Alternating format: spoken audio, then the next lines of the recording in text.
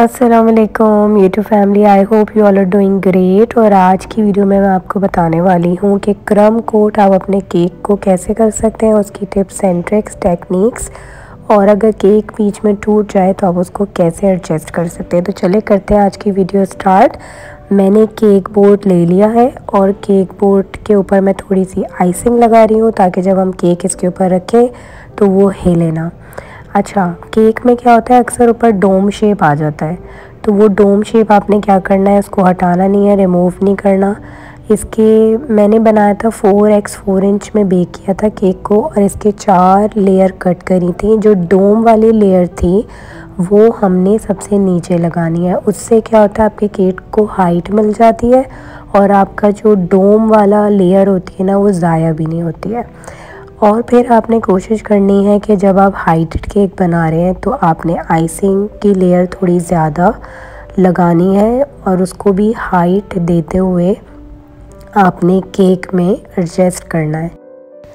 Plastic की turn table जो होती है, मैं आपको रिकमेंड करूँगी कि आप ना बाय करें, हमेशा स्टील या ग्लास की करें, क्योंकि प्लास्टिक की स्लिपरी होती है और स्टक बहुत होती है।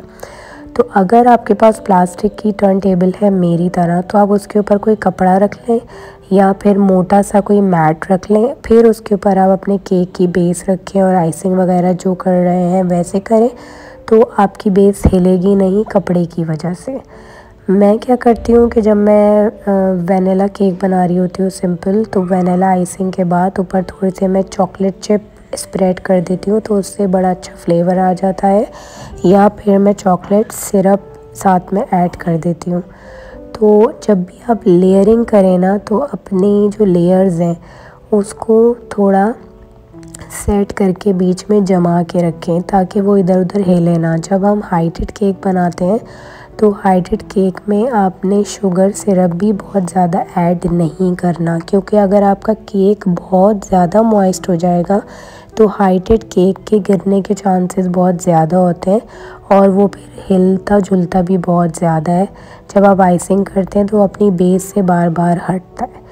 और आपने हल्के हाथों को यूज़ करते हुए आइसिंग करनी है। अगर आप ज़ोर ज़ोर से अपने हाथ चलाएँगे तो अगेन आपकी लेयर्स ख़राब होंगी, वो स्लिप होना शुरू हो जाएँगी। और आपने अपनी आइसिंग भी बड़ी स्टेबल आइसिंग विप करनी है। अगर आप लूज़ आइसिंग रखेंगे, तब भी आपकी जो लेयर्स हैं, वो डिसबैलेंस होंगी। हाइटेड केक में हमेशा आइसिंग की मोटी लेयर्स लगाएँ ताकि आपकी केक की हाइट और ज़्यादा अच्छी हो जाए। अब जैसे कि ये पीस थोड़ा सा साइड में से टूट गया था तो जो लेयर अगर टूट जाती है तो उसको कभी भी आप ऊपर नहीं रखेंगे, उसको हमेशा बीच में रखेंगे ताकि वो नज़र ना आए और आइसिंग करने के बाद पूरा केक कंप्लीट होने के बाद वो पता भी नहीं चलती है कि आपका केक टूट गया था, यानी कि आपका स्पंज टूट गया था या वो ख़राब हो गया था तो आपने उसे हमेशा बीच में रखना है। ये छोटी छोटी टिप्स एंड ट्रिक्स हैं जो कि बड़ी इंपॉर्टेंट होती हैं और आपको पता होना चाहिए। अगर यही टूटा हुआ ब्रोकन लेयर आप सबसे ऊपर रख देंगे तो आपको आइसिंग करने में भी प्रॉब्लम होगा, आपका केक ऊपर से बिल्कुल अनइवन हो जाएगा। तो जब भी अगर आपको कोई ऐसा प्रॉब्लम हो बाय मिस्टेक या किसी भी सूरत आपका केक थोड़ा सा टूट जाए तो आपने उसे कभी भी सबसे ऊपर नहीं रखना। हमेशा उसे आपने बीच की लेयर में एडजस्ट करना है, जैसे कि मैंने कर दिया। अब इसके ऊपर मैं एक और स्पंज की लेयर रख दूँगी, जो कि बिल्कुल परफेक्ट वाली लेयर हमने हमेशा सबसे ऊपर रखनी होती है, ताकि जब हम आइसिंग करें तो हमारी आइसिंग बिल्कुल प्रॉपर हो। जब हम क्रम कोट करें तो हमारा क्रम कोट बेहतरीन तरीके से हो। अब यहाँ पे मैंने प्लास्टिक के स्ट्रॉज ले लिए हैं। इनको मैं इसलिए इंसर्ट कर रही हूँ क्योंकि ये हमारा हाइटेड केक है। तो हम जब स्ट्रॉज या डोवल इंसर्ट करते हैं तो उससे हमारा केक एकदम जम जाता है, अपनी जगह पे रहता है, हिलता नहीं है और ड्यूरिंग डिलीवरी ये इसका टूटने का भी ख़तरा नहीं होता और गिरने का भी ख़तरा नहीं होता। और जब हम केक को फाइनल स्टेज की तरफ़ लेके जा रहे होते हैं तो आपकी आइसिंग भी बड़ी आसानी से हो जाती है क्योंकि आपका केक डिसबैलेंस नहीं होता है।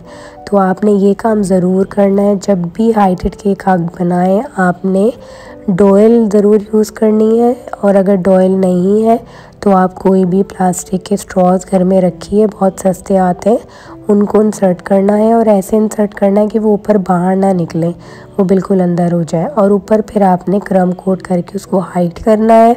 वो नज़र भी नहीं आते और फिर जब आप फाइनल लुक तक लेकर आते हैं केक की आइसिंग करते हैं डेकोरेशन करते हैं तो वो पता भी नहीं चलते।